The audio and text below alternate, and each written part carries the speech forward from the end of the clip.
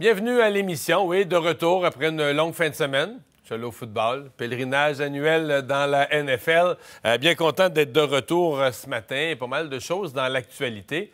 Mais euh, tout de suite, je, vous dis, à 10h30, on va vous présenter la conférence de presse du ministre Bonnardel. Donc, on veut vous la présenter, si tout est à l'heure. Euh, en direct de Mont-Laurier, va nous parler de ces barrages. Je vais vous dire, c'est toute une situation compliquée. Barrages là, qui euh, menacent de, de, céder, qui touchent deux villages, de Chute-Saint-Philippe, Lac des Écorces. les gens sont présentement, pour une partie hébergés là, Mont-Laurier. Alors, le ministre va être avec eux, mais surtout nous dire comment il entrevoit les prochaines étapes. On vous en a parlé euh, largement la semaine passée. Le gouvernement fédéral a octroyé cet appel d'offres pour remplacer les avions Aurora, des avions qui ne sont pas des avions de combat. Je sais que ça mêle un peu des gens, vraiment des avions de, surveillance, de patrouille, patrouille maritime, entre autres, de l'armée canadienne. Et le contrat a été octroyé de gré à gré, sans appel d'offres. Ce qu'on fait parfois, euh, des fois, on fait ça aller sans appel d'offres pour favoriser un fournisseur local, pour ne pas, pas permettre aux fournisseurs étrangers de de soumissionner. Mais là, la situation particulière dans le cas du Canada, c'est que c'est le contraire. On est allé sans appel d'offres pour donner à un Américain, à Boeing, une firme américaine, euh, le contrat et empêcher de soumissionner les firmes canadiennes. Celui qui voulait soumissionner est avec nous, le président de Bombardier, chef de la direction, Éric Martel. Bonjour. Bonjour, M. Dumont. Oui, déçu? Déçu, oui, surtout déçu. Euh, écoutez, ça ne change pas la trajectoire de Bombardier à long terme mais on est déçus parce que mes employés, nos ingénieurs auraient été extrêmement fiers de fabriquer le prochain véhicule qui sera le véhicule de la prochaine génération. Il hein. faut comprendre que les avions P-8 que le gouvernement vient d'acheter seront probablement les derniers produits par Boeing. On dit même que si le Canada les commandait pas, on fermait les. Il fermait la ligne de production. C'est ce qu'on entend. C'est une fin de ligne. C'est une fin de ligne. on est les derniers à l'acheter. Et on avait l'opportunité comme pays d'être peut-être pour une première fois, hein, avoir notre groupe de défense nationale en avant de la parade en achetant ce que nous, on est en train de travailler avec des partenaires pour être le produit de remplacement des P8. Alors, on souhaitait que notre gouvernement soit les premiers à acheter plutôt que d'avoir le P8, dire passer tout de suite à l'autre génération. On est déjà en discussion avec d'autres pays. Euh, les discussions vont bien. On a un produit aussi qui est basé sur des plateformes très fiables. C'est le global qu'on utilisait, c'est pas comme si on désigne un nouvel avion. On prend une plateforme existante, on en a mille des globales qui volent sur la planète. On prenait cette plateforme-là et avec notre partenaire GDMS, qui est euh, General Dynamics, basé à Ottawa, avec environ 2000 ingénieurs et techniciens extrêmement capables, était notre partenaire pour fabriquer les équipements qu'on allait installer sur le global. Alors, une plateforme extrêmement fiable et des gens extrêmement expérimentés qui, d'ailleurs, fabriquent, ont fabriqué les équipements sur le CP-140 qui vole actuellement avec l'armée canadienne. C'est une parenthèse importante parce que je suis pas certain, ce qu'on a dit au public, quand Bombardier s'est débarrassé de la C-Series, etc., c'est des parties de la C-Series, on a dit Bombardier se concentre sur les jets d'affaires, donc les jets privés, des avions d'affaires. Euh, on a fait une entrevue ensemble, je pense qu'il y a deux ans, vous l'aviez évoqué, mais pour les gens moins familiers, c'est que de cet avion de base, avec ses capacités, on développe maintenant une division militaire. Exactement. Et on a déjà... Ça, c'est moins connu, je pense. C'est moins connu, mais pourtant, ça fait longtemps qu'on fait ça. Si vous regardez, on a 5000 avions qui volent. On a à peu près 500 avions, donc 10% de la flotte qui sont des avions de mission. Ça peut être un avion qu'on convertit en ambulance. Ça peut être un avion. On a des avions qui volent pour le Pentagone aujourd'hui depuis une quinzaine d'années qui circulent en, Afghanistan. On, on, fabrique présentement un contrat sur lequel on est en avance d'ailleurs sur la cédule qui nous avait demandé pour l'armée allemande. On fabrique un, autre programme qu'on est en train de regarder pour le Pentagone. Alors, notre meilleur, le plus gros client, c'est les Américains qui achètent nos produits. Mais donc, cette division-là, vous voulez la développer parce que c'est sûr qu'il y, a un gros potentiel là. C'est ça. On était opportuniste dans le temps. On n'avait pas vraiment. Parce que c'est un business où ce que les choses se travaillent de longue haleine. Il faut aller voir le Pentagone, dire écoutez, voici ce qu'on pourrait faire. Ça vous intéresse-tu? Ça vous intéresse pas? Souvent, ils vont dire bien, développer la technologie, on va être acheteur. Alors, c'est un processus de, longue haleine. Quelque chose qui se fait pas nécessairement ici au Canada. Et là, on avait une opportunité générationnelle, je crois, de remettre le Canada en utilisant notre défense. C'est pas comme si on a des contrats souvent comme l'armée américaine a donné. On aurait pu dire on va le faire au Canada et et, je pense qu'on était capable de livrer à temps. Nous, on s'est basé sur un, appel, une, demande d'information qu'il y avait eu du gouvernement qui disait on a besoin du premier appareil en 32 et le dernier en 37-38. On, avait le temps de le faire parce que c'est pas redésigner un avion, c'est de modifier un avion un avion qui est déjà existant et d'installer des équipements sophistiqués dessus. Et ça, on a fait ça souvent, souvent, souvent. Comme je vous dis, sur 500 avions, on sait faire. Et donc, ce que vous demandiez, c'est pas d'avoir le contrat? Absolument C'est d'avoir le droit de faire une proposition Absolument dans le cadre d'un appel d'offres ouvert. Contrairement à ce qui aurait été fait dans d'autres pays, hein, en France, au... parce que c'est unique au Canada qu'on ait une capacité en aéronautique. Il y a à peu près cinq pays sur la planète qui sont capables de désigner, fabriquer des avions, et nous, on est capable. Alors, euh, dans d'autres pays, ça se serait fait peut-être sans appel d'offres, mais chez nous, nous, on a... Mais sans appel d'offres. Je veux dire, En France, ça aurait Ah. été sans appel d'offres pour le donner. Très probablement une compagnie française Ben oui. ou aux États-Unis aussi. Ici, on est au Canada, on n'a pas souvent d'opportunités. On en avait une qui était générationnelle présentement, et nous, comme leader un peu de l'industrie aéronautique au Canada, on a dit on est capable avec des partenaires de le faire. On allait créer 22 000 emplois euh, au total en faisant ce contrat-là sur plusieurs années, parce qu'après ça, il faut les maintenir. On installait les équipements ici au pays. Parce qu'on parle quoi, d'un 8-9 milliards? Environ. Et, et je pense que, tu sais, là, je, je parle comme PDG, mais comme payeur de taxes aussi, on aurait coûté probablement 2 à 3 milliards de moins. Ça, c'est une première chose qui est importante. Donc, vous, le 8 à 9, vous pensez que vous l'auriez fait on à fait 5-6? probablement 5, 6, 7. On n'avait pas tous les détails, mais on était clair qu'un avion, un plus petit avion comme le Global, qui est capable de faire la mission. Puis notre avion, en plus, ce qu'il faut retenir, c'est qu'il allait coûter moins cher en opération. Les coûts d'opération de l'avion pendant les 30-40 prochaines années allaient être d'environ 30% On dit qu'il consomme quoi, la moitié de carburant? Oui, près? 40 moins d'émissions qu'on aurait produit, 30% moins de coûts d'opération.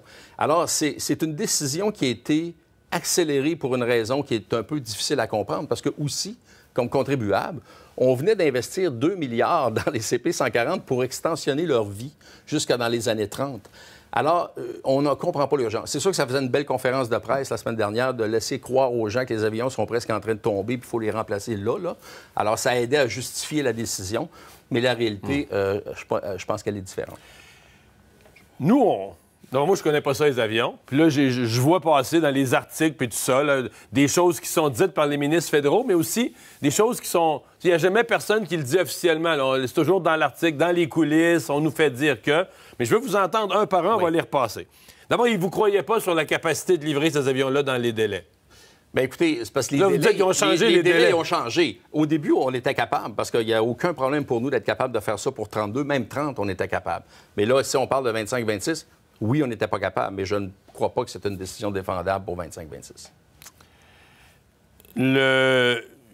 Toute l'histoire des torpilles, il semblait mettre en doute que être capable d'installer. Vous avez installé d'autres équipements, mais jamais oui. pour les torpilles. euh, Et ça, c'est vrai, mais ce qu'il faut savoir, c'est que l'expertise de Bombardier, quand on prend un avion qui existe et qu'on l'installe, je vous l'ai dit, on a fait ça 500 fois, on va modifier la structure de l'avion. On va renforcer l'aile, on va renforcer le fuselage pour être capable d'ajouter. Si vous regardez, si vous googlez, vous allez sur le Global Eye, c'est un avion qu'on fait avec les Suédois, Saab, et qui a un, un radar campé sur le dessus du fuselage qui pèse une tonne, 2000 livres. Alors, on est capable de L'avion lève ça. pareil. Et l'avion lève pareil. Après ça, il faut tout réévaluer l'enveloppe aérodynamique de l'avion pour tout rebalancer, et ça, on sait faire. Alors, c'est quelque chose que nous, Bombardier, on a le savoir, on est capable de modifier nos avions, et on a fait ça à répétition. Alors, installer des torpilles ou installer un radar ou installer d'autres choses, il y a d'autres enjeux, mais techniquement, on était très capable de passer au travers. Il semblait mettre en doute aussi que vous étiez capable de le faire moins cher. Oui. Bien, écoutez, euh, euh, je trouve ça Mais drôle ça, en fait, en doute des ça, en choses, fait, il y a rien qu'un appel d'offres pour le tester. Exactement, c'est ce que j'allais dire, parce qu'ils n'ont jamais fait d'appel d'offres. Fait que c'était un peu des discussions de corridor, on n'est pas capable, euh, ou ils peuvent pas le faire dans les délais, les délais changeaient. Mais la réalité, c'est que s'il y aurait eu un appel d'offres, je pense que Boeing euh, aurait dû mettre probablement un bien meilleur prix sur la table et on aurait compétitionné avec eux. À la fin, j'étais prêt. Si on gagne, on gagne. Si on perd, on perd.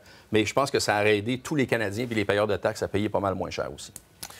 Une des choses que nous dit le gouvernement canadien, c'est qu'il va quand même vous aider à aller vendre vos avions à travers le monde. Parce que le Canada a des ambassades, évidemment, c'est toute une structure importante. Mais je J'essayais de me questionner, alors je l'ai dit à haute voix à nos téléspectateurs la semaine passée.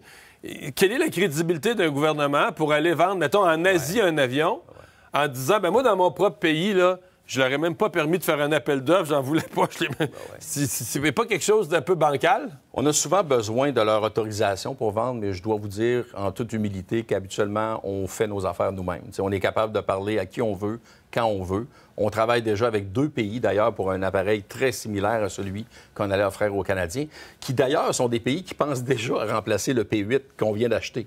Fait qu'il faut, il faut comprendre que là, nous, on arrive avec la nouvelle que génération. ce qu'on vient d'acheter, il y a d'autres pays qui veulent le remplacer par des, Absolument. par des globals. Même les Américains eux-mêmes ont déjà dit que vers 2040, ça serait probablement un nouvel appareil qui arriverait. Les Les Australiens déjà demandent à faire une mise à jour parce que les équipements commencent à être désuets. Fait que là, ça n'a pas été très public, mais déjà, l'avion qu'on va acheter, qu'on va prendre livraison en 27-28, il y aura des, des mises à jour d'équipements qui vont coûter je ne sais pas combien.